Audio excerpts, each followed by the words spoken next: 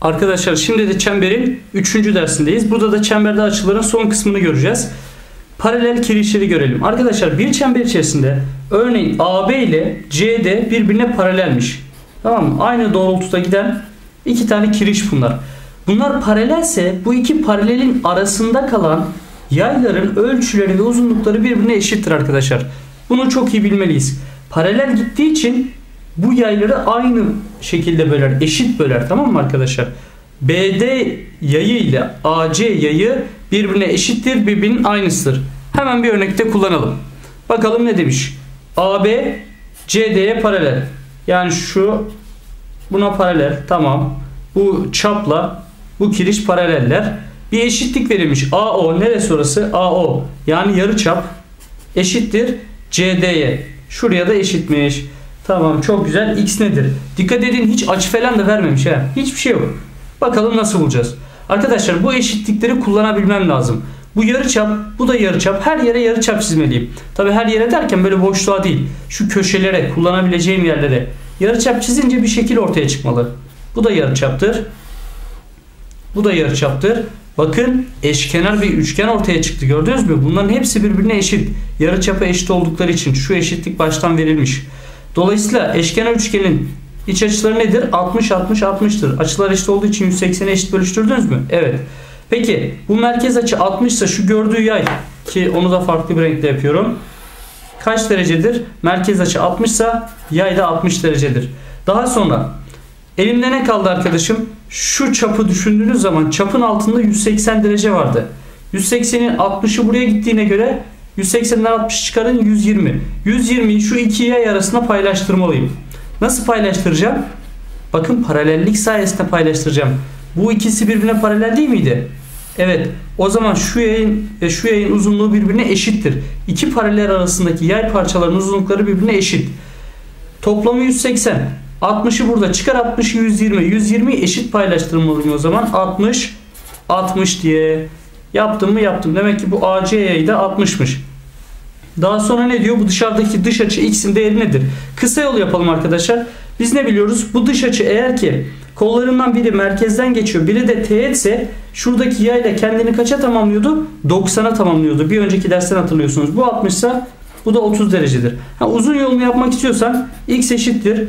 Şu gördüğü dışarıdaki büyük açıdan 60 60 120 şu küçük açı olan 60'ı çıkarıp ya 120 dedim 60 yazdım bak hele. Hemen düzeltiyorum.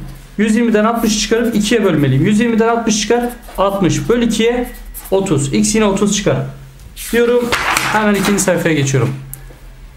Burada da arkadaşlar değişik örnekler var bir, bir iki tane. Bunlar genelde kural olarak verilir kitaplarda falan ama ben sadece örnek olarak göstermek istiyorum. Fazla kural diye aklınızda kalmasın. Ee, zor görünüyor. Bu sefer kalabalık görünüyor. Şöyle bir örnek var. 3 tane çember bir noktada kesişmiş gördüğünüz gibi. Ortak birer noktaları var. Bunların merkezlerini birleştirdiğiniz zaman bir üçgen oluyor. Dolayısıyla şu merkez açı x, bu alfa, bu beta olsun. Üçünün toplamı üçgenin iç açılarından dolayı dolayı 180 ediyor. Doğru mu? Evet. E bu x'e şu gördüğün yay da x'tir. Bu alfa ise gördüğün yay alfadır. Bu beta ise gördüğü yay betadır. Şuradaki kıvrımlı üçgen var ya şu üç yayın toplamı da dolayısıyla 180 yapacak. Çünkü bu x'e bu da x. Alfa ise alfa beta ise beta. Üçünün toplamı birbirle değdikleri yerlerden itibaren toplamları 180 yapacak. Hemen örnekte inceleyelim. Bakın birer noktada kesişmiş 3 tane çember var. Merkez açı 50 ise yay 50. Merkez açı 60 ise yay 60. Şurayı bilmiyorum. Hemen bulayım. 3'ün toplamı 180 olmayacak mı? Evet. 50, 60 daha 110. Demek ki bu yayda 70 olacak. Böylece 180 olacak. 110, 70 daha 180. X nedir? Çevre açı. 70'i gördüğüne göre yarısıdır 55. Diyorum. Bakın bu e, göstereceğim örnekler biraz daha nadir çıkar. İlki şu paralel e, olan kirişler daha çok çıkıyor tamam mı? Diyorum ve geçiyorum. Burada da iki tane çember bir noktada kesişmiş ve ortak bir teğetleri var. O1 ve O2 de merkez. Burada da arkadaşlar şu bir dörtgendir gördünüz mü? Evet gördünüz çok iyi. Dörtgenin iç açıları toplamı 180 derecedir. Burası 90 burası 90 olduğu için 180. Pardon ne dedim? Dörtgenin iç açıları toplamı 360 derecedir. Özür diliyorum. Ne diyorum ben ya? 1, 2, 3 dört kenarı var. Toplamları iç açıları toplamı 360 yapacak. Burası 90. Burası 90 ne yaptı? 180. O zaman x ile y'ye de 180 kalıyor. Dolayısıyla x artı y 180 derecedir. x burası ise gördüğü yay da x'tir. Bu merkez açı y ise gördüğü yay da y'dir. Demek ki x y ile y yayı birbirine değdikleri noktadan itibaren toplamları 180 yapacak. Bunu da örneklerde şu şekilde kullanacağız. Bakın iki tane çember bir noktada kesişmiş. Ortak bir de teğetleri var. Çok güzel. Merkez açı kaç? Dik dik. Yani 90 derece. Burası nedir o zaman? Süper. 90 dediğinizi duydum. Çünkü merkez açı yay ile eşittir. Şu yay ile bu yay birbirine kesiştikleri noktadan itibaren teğete kadar, teğete kesiştikleri noktaya kadar toplam kaç oluyordu?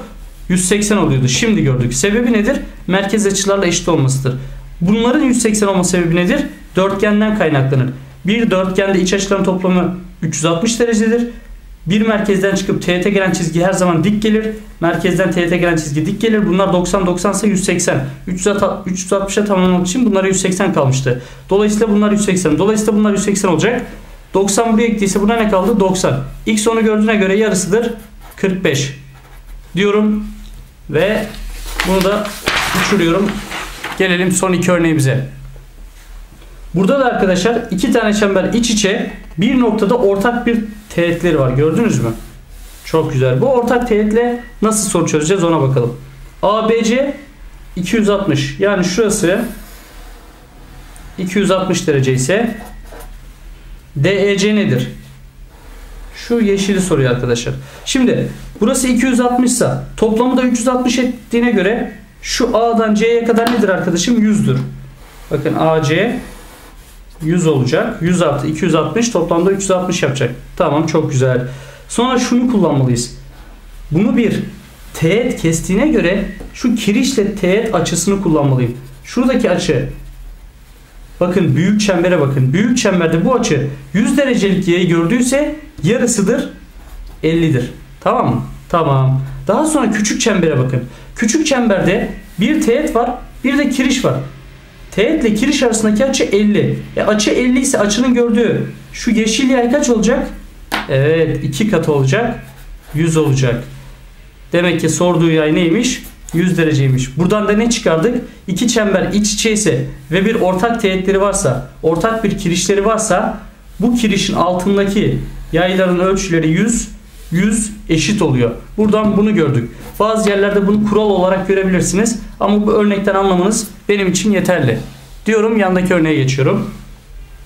Burada da yine iki tane çember ortak bir noktada kesişmiş gördük. B noktası böyle sırt sırta vermişler. Burada birbirlerine değiyorlar. Daha sonra bir dış açı var D açı. Burada A, A noktasında bu çembere teğet. C noktasında da küçük çembere teğet. Bana ne diyor? A, B, C. A, B, C. O şu açıyı soruyor. Yeşil açı. Bu açıyı nasıl yapabilirim diye düşünüyorum. Sonra diyorum ki arkadaşım diyorum. Şuradan her iki çembere de bir ortak teğet çizmeliyim diyorum. Şu şekilde bir ortak teğet çizdim. Neden? Çünkü bu teğet sayesinde şu açıları birbirine eşit bulacağım. Nasıl bulacağım? Bak şimdi. Şu kiriş ve teğet arasında kalan açı A ise yayın ölçüsü 2 katı 2A değil miydi? Evet burası 2A. Tamam. Şimdi buradan bakalım. Burada kiriş var. Pardon. Burada teğet var. Burada kiriş var. Teğet ile kiriş arasında kalan açı gördüğü yayın yarısı değil miydi? Evet burası 2A ise A onun yarısıdır A. Pardon açı onun yarısıdır A. Gördüğünüz gibi şu açılar birbirine eşit çıktı. Çok güzel. Aynı şey burada da olacak. Şuradaki açı B olsun. Bu ne teğet? Bu ne kiriş? Teğet ile kiriş arasındaki açı B ise gördüğü şu yay 2 katıdır. 2B'dir. Gel bu tarafa. Burada da kiriş var. Teğet var.